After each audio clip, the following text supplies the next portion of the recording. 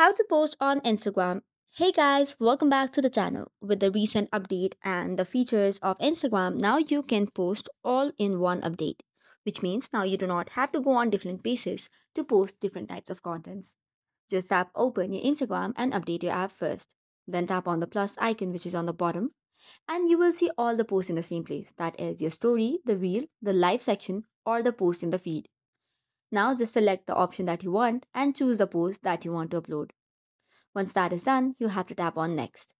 Hereby you can add the music from this place, add stickers, add text, add different types of filters, voiceovers and much more all in one place.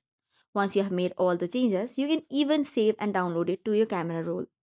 After making the changes, tap on the next button from the right corner and then it'll take you to another page. From here you can add location, tag people and manage other options. And once this is done, you're good to go. So this is all for today's video. For more such contents, do not forget to hit the like and subscribe button.